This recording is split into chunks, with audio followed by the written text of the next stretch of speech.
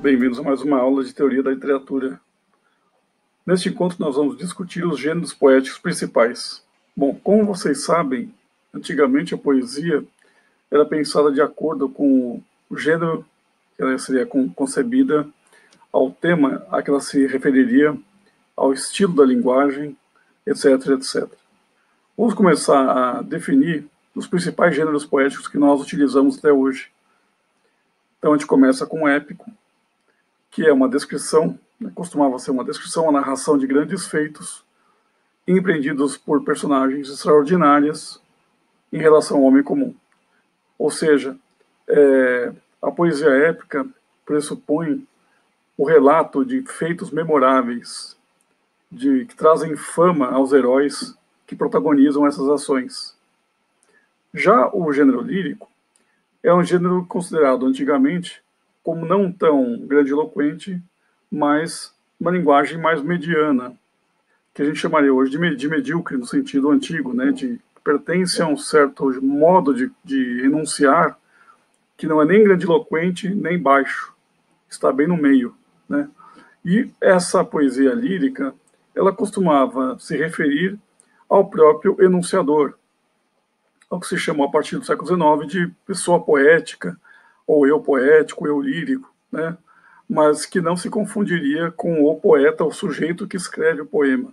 Né? Então há uma distinção entre persona poética, né? aquela, o enunciador de um poema, e pessoa empírica, ou seja, o autor empírico, aquele que escreveu, que inventou essa obra. Né? Então a dimensão da obra, né, antes de ela virar poema, isso é atributo do autor, mas uma vez que o, esse texto se constitui, ele passa a estar na dimensão narrativa, a dimensão, portanto, ou de um narrador, se for uma prosa, ou se for no texto poético, de uma persona poética, que, como eu disse, não se confunde biograficamente com o autor. Também há o gênero cômico, né, que a gente vê nas sátiras, por exemplo, e nesse gênero cômico há uma descrição, narração, né, elas andam juntas, as palavras, né, de cenas que são atuadas por sujeitos, personagens inferiores à média dos homens. Né? Então a gente teria o épico para narrar feitos extraordinários, ações que os homens mortais comuns não conseguiriam empreender.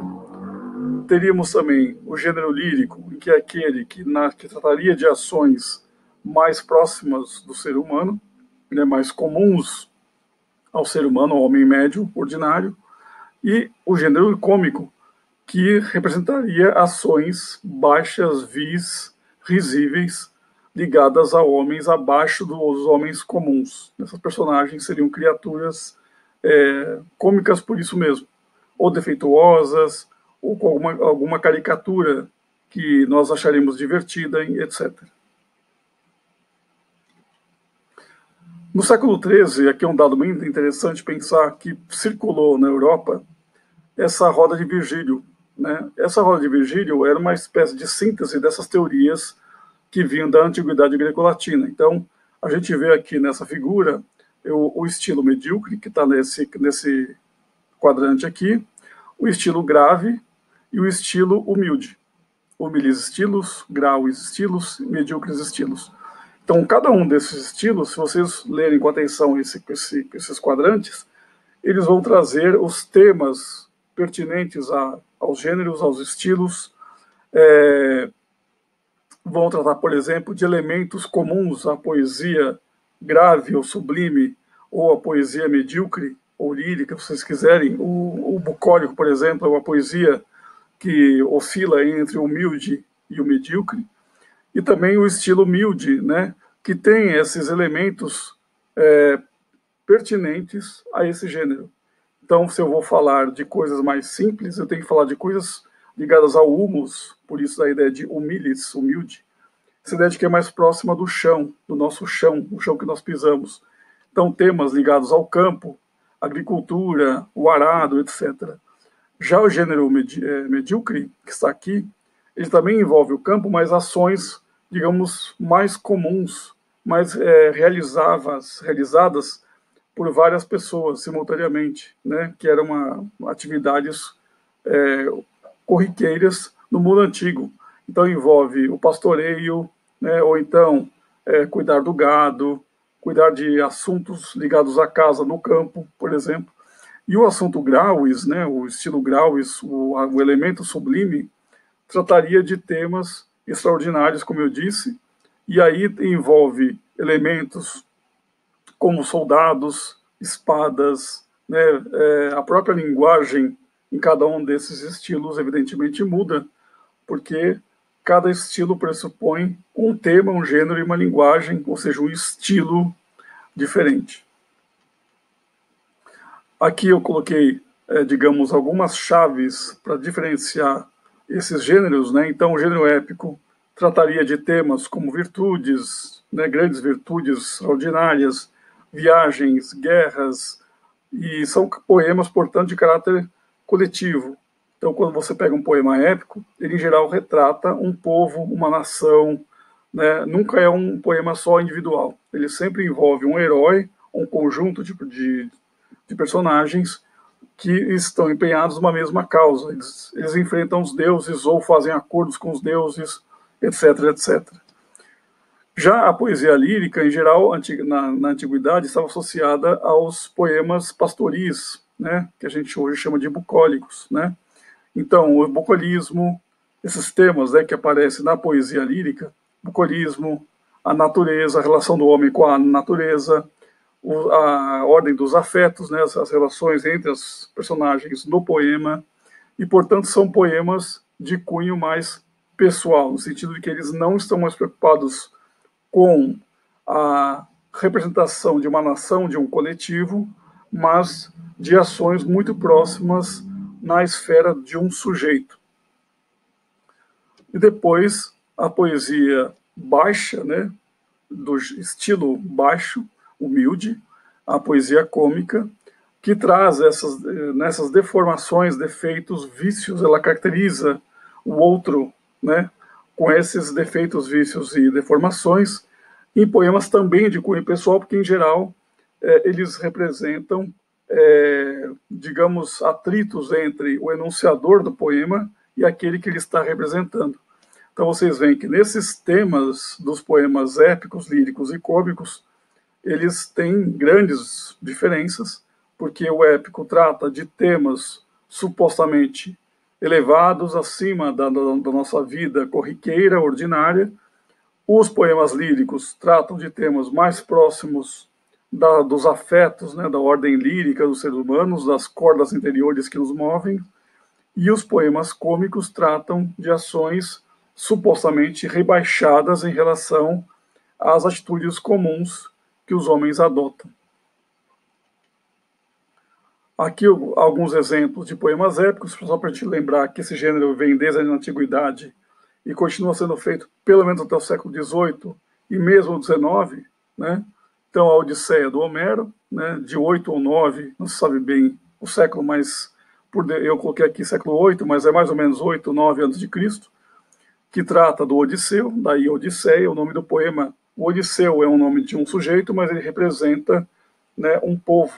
Depois a Eneida, né, que protagonizada por Enéas, que também representa um povo, né? Os Lusíadas, protagonizado pelo Vasco da, da Gama, né? Vocês sabem, o Camões, já no século XVI da nossa era, o Caramuru, do luso brasileiro, um padre chamado Santa Rita Durão, que escreve, que tenta reconstituir a descoberta, entre aspas, do recôncavo baiano no início do século XVI. Então esse poema é um poema épico também, porque narra essa viagem, essa conquista, né? essa, esses, esse conjunto de náufragos que saem dessa embarcação são resgatados pelos índios, e todos esses feitos né, que o poema traz em seus cantos retomam a tradição épica. E um exemplo mais recente, né, pelo menos recente do ponto de vista histórico, né, do século XIX já, a Confederação dos Tamoios do Gonçalves de Magalhães, que é um poeta brasileiro romântico, que, embora negue as convenções uh, neoclássicas, chamadas neoclássicas do século XVIII, ele continua aplicando uh, vários elementos que remontam à tradição greco-latina. Então tem ele substitui a, a, a mitologia greco-latina pela pelos elementos cristãos, evidentemente, ele é, um, ele é um católico, mas ao mesmo tempo o poema tem também traz vários artifícios que caracterizam esse poema como um poema épico, porque ele envolve é, batalhas, envolve conquistas, envolve uma linguagem grandiloquente. Então, portanto, vocês vejam que esses poemas épicos têm uma longa tradição, né, milhares de anos, se a gente quiser contar desde antes até do Homero, né, até hoje, e que eles permanecem, né, eles, pelo menos na forma de resquícios ou de diálogos possíveis entre os poemas do século XIX e os poemas do século 8 ou 9 a.C. Dos poemas líricos, eu trouxe exemplos é, também da Antiguidade, né, as Odes de Horácio, que são consideradas uma das primeiras formas da poesia lírica, as Bucólicas de Virgílio, que é mais ou menos contemporâneo do Horácio, a Lírica de Camões, né, com um conjunto de poemas que saem publicados após a morte dele no final do século XVI, ah, um exemplos mais pontuais, como a Maria de Dirceu, do Tomás Gonzaga, que é do final do século XVIII, e um exemplo, acho que talvez vocês lembrem mais facilmente, a Líria dos 20 anos, do Álvares de Azevedo, que tem três partes esse livro, e das, a, a, parte 1 e a parte 3 contém justamente poemas de temática lírica, temática ligada aos afetos, a essência desse enunciador que né, lamenta a ausência da, da amada, enfim, que enaltece a mulher, etc. A crítica vai dizer depois que esses poemas, obras de Azevedo, seriam neoplatônicos. Né? Isso é uma controvérsia que a gente vai ver mais tarde, é, porque senão a gente vai estabelecer pontes imediatas entre Platão, no século V a.C., e o Alves de Azevedo, no século XIX, né, da nossa era. Tem que tomar um certo cuidado ao afirmar isso, mas a gente vai ver com mais calma depois. Aqui, só para finalizar, mais alguns exemplos agora de poemas cômicos, aqueles poemas, portanto, que rebaixam as personagens abaixo da média dos homens. Né? Então, as sátiras do Juvenal são apontadas por, pela maioria dos, dos teóricos e historiadores das letras né? como uma obra de referência, obra de referência.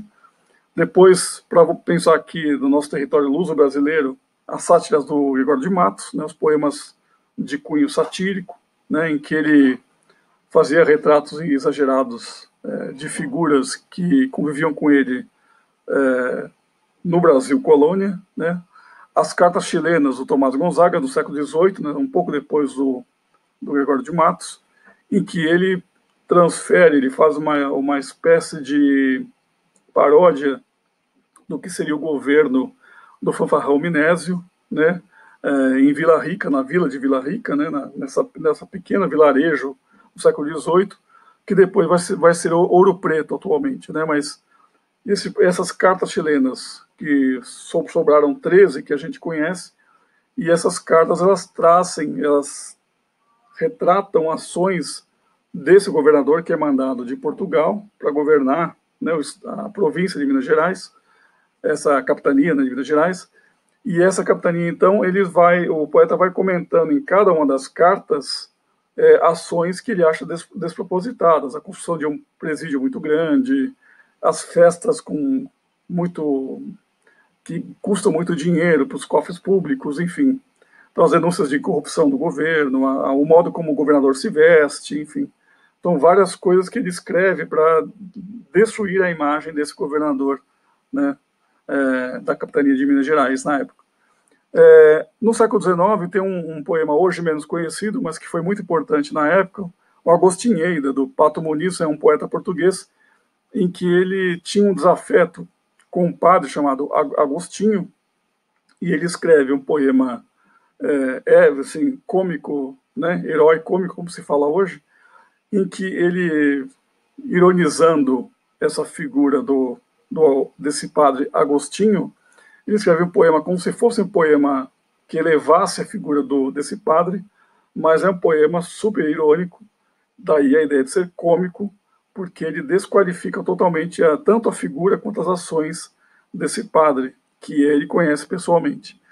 E, é para citar um exemplo mais recente, né, aqui no Brasil, no início do século XX, houve um, um poeta, né, um heterônimo chamado João Bananelli, é, que era um autor de outro nome, Alexandre Mar Marcondes Machado, em que ele vai justamente retomar o Dante, né, é, e vai fazer uma, uma paródia com um italiano macarrônico que se utilizava em São Paulo no início do século XX. Então é interessante que até pela, pela linguagem que ele utiliza no poema, esse, esse italiano macarrônico, e os temas que ele imita intencionalmente parodiando Dante, né, Dante a, é, na Divina Comédia, então esse poema acaba sendo uma, um ótimo exemplo recente, no século XX, de ser um poema satírico, cômico, né? porque ele justamente desqualifica, claro que de forma lúdica, é, ele retoma um clássico do século XIII, o Dante, e faz uma releitura muito mais simples e muito mais engraçada, divertida, é, dessa fonte textual, por, por, assim dizer. Aqui são as referências desta aula, né? Então, Aristóteles, nós já falamos dele em outros momentos, a poética do Aristóteles, com a tradução do Paulo Pinheiro, é, o Francis Carlos, esse livro importantíssimo sobre a composição dos gregos e, e, antigos romanos, né? Vale a pena vocês conferirem se tiverem acesso. É, coloquei aqui também essas, a tese da Talita Morato Ferreira sobre poesia bucólica Virgílio, ela está disponível na internet, vocês conseguem localizar. A estilística do Pierre Guiraud, que é um, que é um livro que justamente mostra onde nasceu a palavra estilo né, que a gente abordou aqui.